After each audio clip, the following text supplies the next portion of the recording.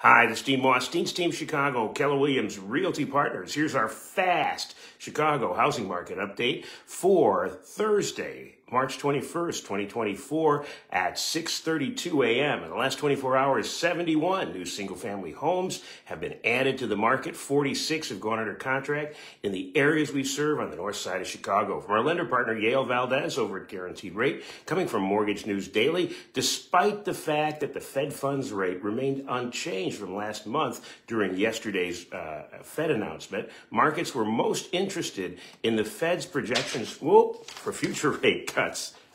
Hang on, guys.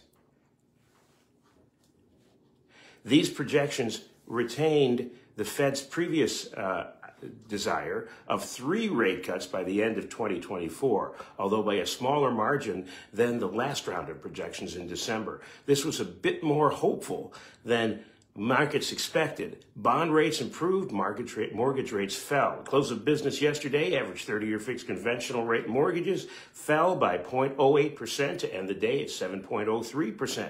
For the latest real estate trends and an estimate of your home equity, we'll contact our team today. For up to the minute mortgage rates in your situation and to apply online, contact Yale at Guaranteed Rate. To reach either me or Yale, comment below. One of us will get back to you promptly. Have an incredible day.